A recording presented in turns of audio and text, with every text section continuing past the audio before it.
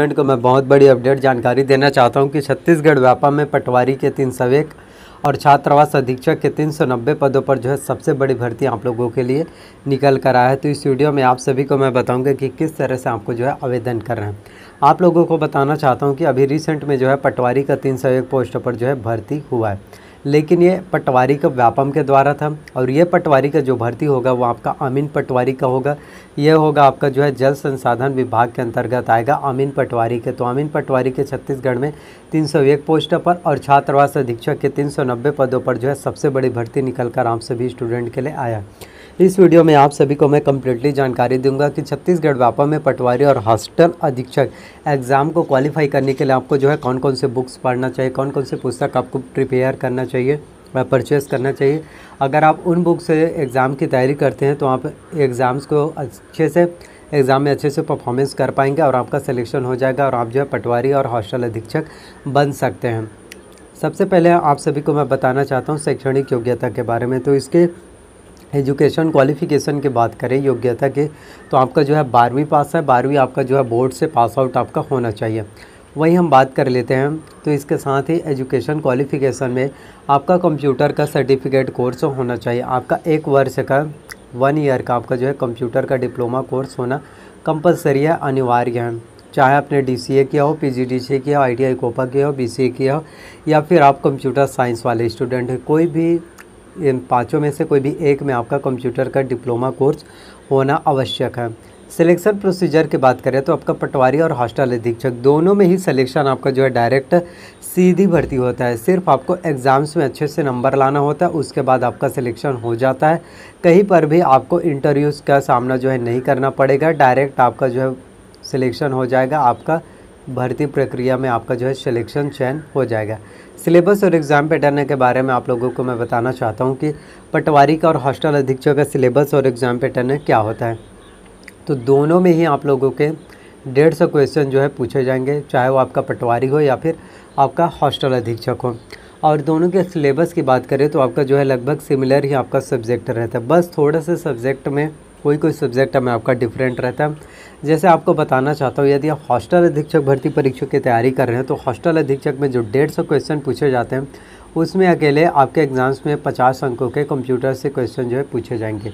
तो आपको कंप्यूटर्स में 50 में से 25 नंबर लाना आपको जो है कंपलसरी है अनिवार्य है।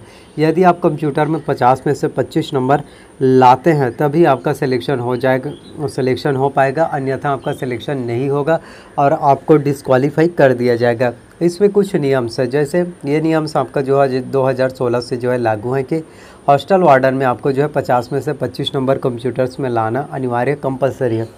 क्या होता है कि यदि आप मैथ्स में अच्छे से अंक ला लेते हैं, हिंदी में इंग्लिश में और मैथ्स में रीजनिंग में जनरल साइंस में और आपके छत्तीसगढ़ जीएस में कॉन्स्टिट्यूशन बाकी जितने भी सब्जेक्ट ऐसे क्वेश्चन आपके एग्ज़ाम में पूछे जाएँगे, उन सभी में आपका मार्क्स अंक बहुत अच्छे से आएँगे। लेकिन यदि वहीं पर आपके कंप्यूटर्स में यदि 50 में से 20 नंबर आ जाता है। 20 नंबर आ गया 22 नंबर या 24 नंबर भी आ गया। अगर 24 नंबर भी आ गया, एक नंबर से यदि आपका 25 नंबर नहीं आया, फिर भी आपका सिलेक्शन नहीं हो पाएगा। तो इसलिए जो भी आप लोगों को यदि कोई बोलता है कि मैथ्स और रीजनिंग में सबसे ज़्यादा मेहनत करो, ये भी अच्छी बात है, लेकिन इसके साथ ही आपको जो है कंप्यूटर्स में बहुत अच्छे से मेहनत करना है, क्योंकि बिना कंप्यूटर्स में मेहनत किया और 50 में से 25 नंबर लाए बिना आप एग्ज़ाम्स को क्वालिफाई नहीं कर पाएँगे। और इसके साथ ही इसमें जो है निगेटिव मार्किंग होता है, क्योंकि निगेटिव मार्किंग में यदि आपने चार प्रश्न गलत किया तो इसके साथ आपका एक नंबर कट जाता है। यानी कि चार प्रश्न गलत जब आप करेंगे तो आपका पाँच नंबर कट जाएगा। तो आपको जो है निगेटिव मार्किंग से भी बचना है, जिससे आप अच्छे से आंसर जो है सॉल्व कर पाए। इसीलिए आपको सभी चीज़ों के बारे में जो है डिटेल्स और नॉलेज होना बहुत ही ज़्यादा इंपॉर्टेंट है। आपका कंपलसरी ज़रूरी हो जाता है। तो कंप्यूटर्स में पचास में से पच्चीस नंबर आपको लाना ही लाना है। इसके साथ ही आपके एग्ज़ाम्स में जो है हिंदी से क्वेश्चन पूछे जाएँगे इंग्लिश से आएँगे और कॉन्स्टिट्यूशन संविधान से आएगा, छत्तीसगढ़ की सामान्य जानकारी से आएगा। करंट अफेयर्स हम साई की घटना चक्र से आपके एग्ज़ाम्स में क्वेश्चन जो है पूछे जाएँगे।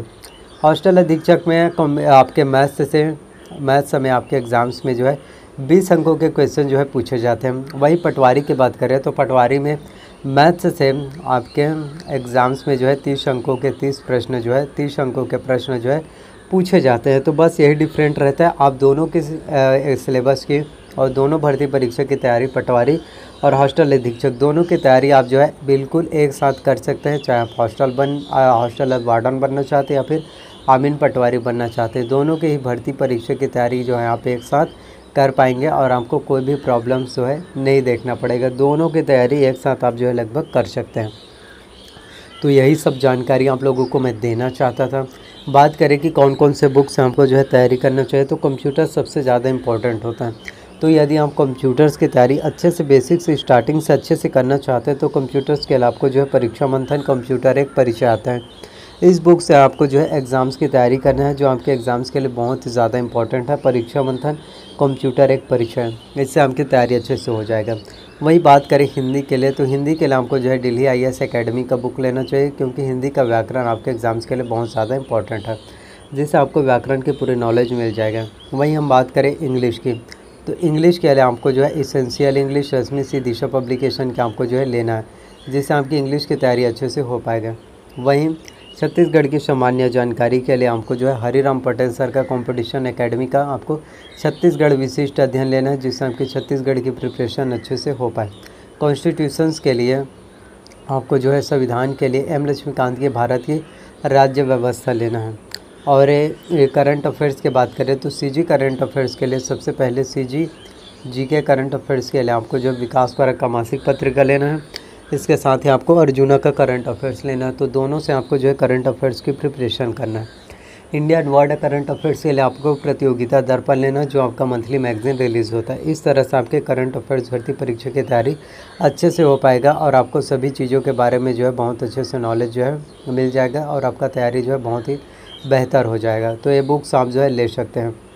वही इंडियन वर्ल्ड करंट अफेयर्स के लिए प्रतियोगिता दर्पण जो आपका मंथली मैगज़ीन रिलीज़ होगा। वो आप जो है ले सकते हैं Pratiyogita Darpan. One of the most best books आपका जो है होता है एग्ज़ाम्स के लिए। तो इन सभी से तैयारी आप जो है कर सकते हैं। बात करें आपके पटवारी के और हॉस्टल वार्डन के वैकेंसीज़ कब आएगा। तो आपके छत्तीसगढ़ में आने वाली जो है सीजी न्यू अपकमिंग वैकेंसी है। जल्द ही संबंध में हम सभी को जो है ऑफिशियल नोटिफिकेशन देखने को मिल जाएगा। तो जितना हो सके आप जो है एग्ज़ाम की प्रिपरेशन जो है अच्छे से कीजिए। अपना तैयारी जो है आप अच्छे से कीजिए। नोटिफिकेशन के इंतज़ार बिल्कुल भी मत करना। यह छत्तीसगढ़ में आने वाली C G new upcoming vacancy है। जल्दी हम सभी को इस संबंध में जो है नोटिफिकेशन देखने को मिल जाएगा। तो इसी तरह से मेरे चैनल्स पर आप लोगों को वीडियोस जो है मिलते रहेंगे। तो प्लीज़ चैनल को सब्सक्राइब कीजिए वीडियोस को लाइक कर लीजिए और साथ में बेल नोटिफिकेशन को भी ऑन करके रख लीजिए ताकि जब भी मैं वीडियोस अपलोड करूँ, इसकी जानकारी जो है सबसे पहले आप सभी स्टूडेंट को मिल सके। तो प्लीज़ वीडियो को जितना हो सके शेयर कीजिए लाइक कीजिए कॉमेंट कीजिए, अपना प्यार और अपना सपोर्ट दिखाइए। So thank you